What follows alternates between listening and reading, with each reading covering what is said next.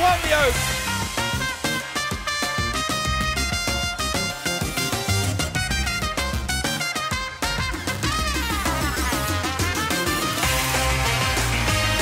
But Ornate is holding on, Ornate. Ornate held on.